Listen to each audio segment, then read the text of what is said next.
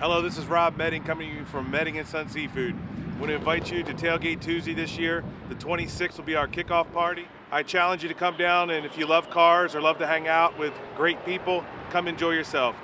Tailgate Tuesday was just a fun night to get together because we were so busy working seven days a week and Tuesday nights were slow and just wanted a place to hang out and get together and cook kielbasa on the grill to see the young kids come with different type of cars and with their grandparents and a different twist it's awesome. To give people a place to be similar to like cruising the plaza or cruising, cruising rodney village or virginia beach we cruised ocean city. It's just a, a neat thing to see someone love what they love in a car whether it's a chevette or corvette. That is a 1934 dodge um, factory suicide door that was done only one year. I love all vehicles and I love truck.